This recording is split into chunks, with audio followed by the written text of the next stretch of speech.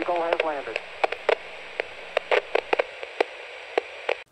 Hey guys, how you doing? Welcome to another episode of Arnold Space Station. As part of today's episodes, we're going to show you how you can turn Salesforce's B2B platform into a B2C platform using person accounts. As always, if you guys have been following the series, please don't forget to like the video or subscribe to the channel. And if you've got any comments, please don't forget to leave them down below. Let's go have a look at this episode. So, what are person accounts? Person accounts is a feature inside Salesforce, and by activating it, you will be able to sell directly to consumers. The reason this exists is because, yes, there are businesses out there that do sell directly to consumers, uh, but at the same time, when you do sell things to consumers, you don't need to record any business details uh, as part of that. So, activating this feature certainly removes that need inside Salesforce. So, there are two reasons why you would want to activate person accounts. According to me, let's take an example of a car dealership. Uh, we have certainly done one of these in the past for a customer of ours. And you know, they've got, they, they sell B2B, which means that they sell directly to businesses, and businesses come in and buy cars. And they also sell directly to consumer, in which case individuals uh, come through and buy cars. So as a result, it allows them to keep that data segmented, um, which is great for reporting, uh, and which is also great to know who you're actually dealing with, whether you're dealing with a business or whether you're dealing with a consumer.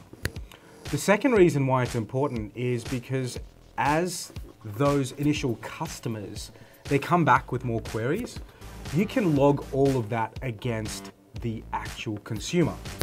Um, and that certainly helps because over time you can also choose to retarget and remarket to them if required.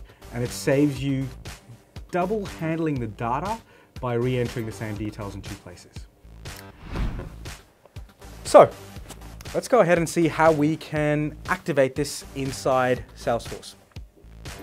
So once you've logged into Salesforce, you'll need to navigate to this setup section using the cogwheel or the icon that I've clicked on on the right hand side of the page.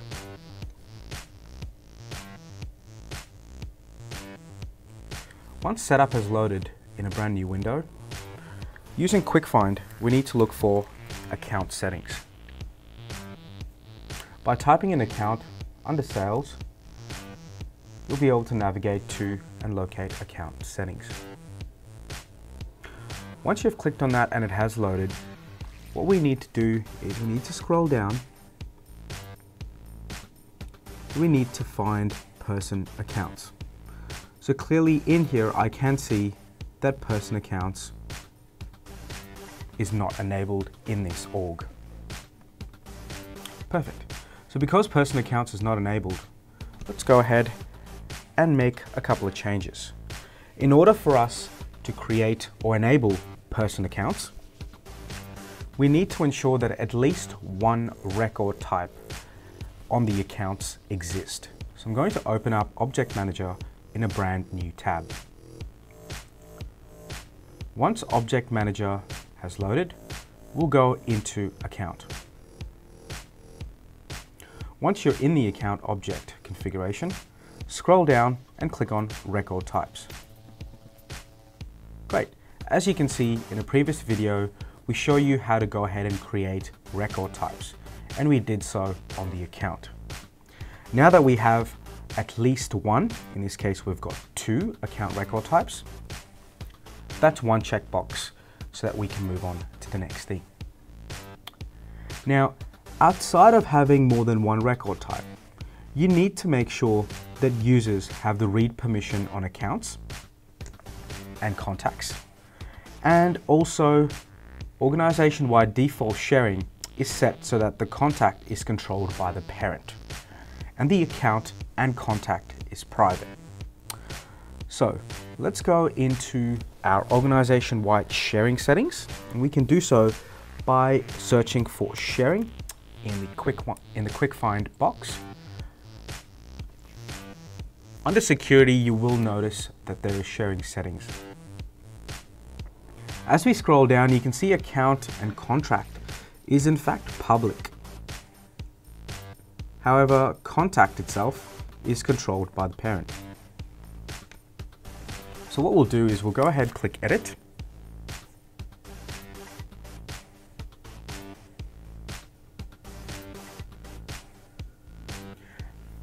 And we'll change account and contract to be private.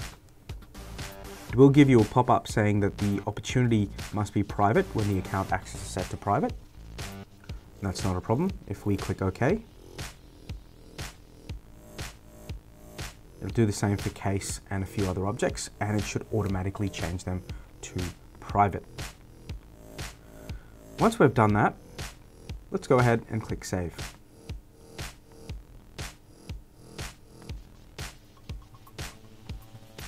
Beautiful. It will give us a little notification here saying that it is making the change to the sharing operation uh, and it might take a little while. Depending on how big your org is and how much data actually exists in it, it'll need to go ahead and make all those sharing permission changes. Great. So now that we've done that, we're going to go back into account settings. So that's the second checkbox ticked. I'm going to go back into account settings and there is still one in here that we haven't addressed and that is users that have read permission on accounts have read permission on contacts. Now that's perfectly fine in most cases um, unless you have customized profiles. I would highly recommend you go in there and double check that. Uh, but in this case, we do not have highly customized profiles as part of this particular org uh, and therefore anyone that has access to contacts will also have access to accounts. So once you have gone ahead and addressed number two uh, by checking all profiles in your own Salesforce org, what we'll do is we'll click the edit button in here. And as I scroll down, I am going to click on the checkbox to allow support to enable person accounts. So once you've gone ahead and clicked on allow customer support to enable person accounts, what you need to do is you need to click on your profile picture or avatar, go into settings. In your own settings, you need to click on grant account login access and ensure that salesforce.com support does in fact have at least a week of account access to your account. So they can verify all the different changes that you've made before they go ahead and properly activate it. Now, once you've gone ahead and given them access, the next thing you need to do is you need to raise a Salesforce case. And let's go ahead and see how we can do this.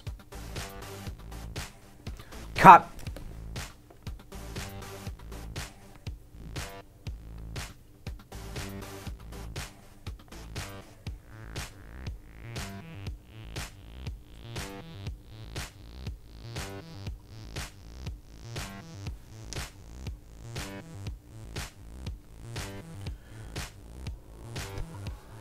Action.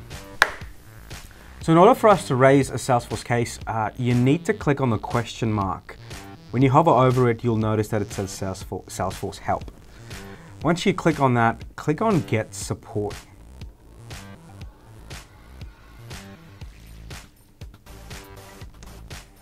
Cut.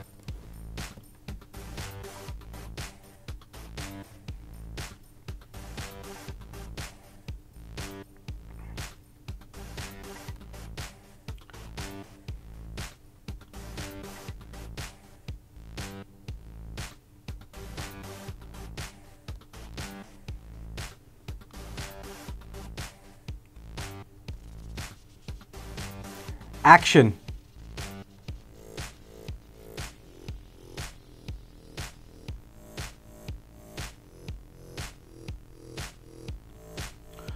So once you're in the Trailblazer community, you can go ahead and log in. And once you have logged in, you can come down and click on create a case under success plan and contact support. Once you do that, you can follow the prompts by scrolling down, clicking on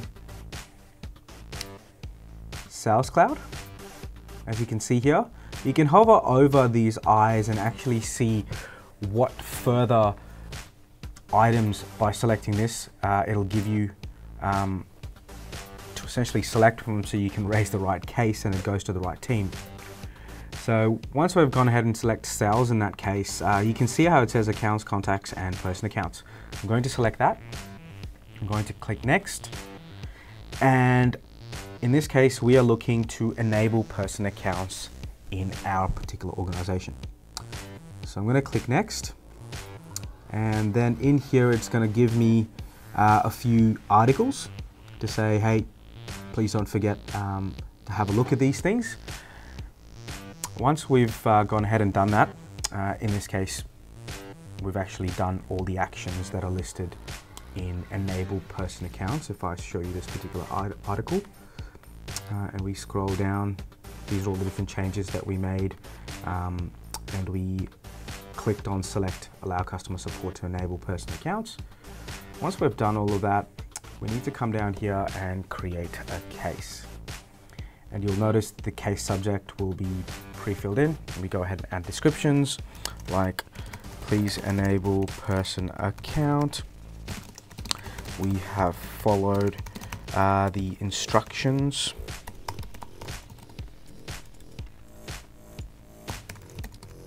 in uh, the article listed below.